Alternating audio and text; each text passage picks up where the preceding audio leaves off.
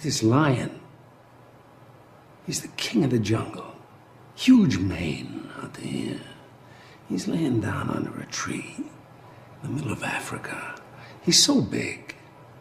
He's so hot. He doesn't want to move. Now, the little lion cubs, they start messing with him. Biting his tail, biting his ears. He doesn't do anything. The lioness, she starts messing with him, coming over, making trouble. Still, nothing. Now, the other animals, they notice this, and they start to move in. The jackals, hyenas, they're barking at him, laughing at him.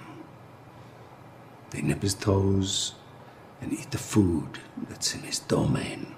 They do this, and they get closer and closer and bolder and bolder, till one day that lion gets up and tears the shit out of everybody, runs like the wind, eats everything in his path. Because every once in a while, the lion has to show the jackals who he is.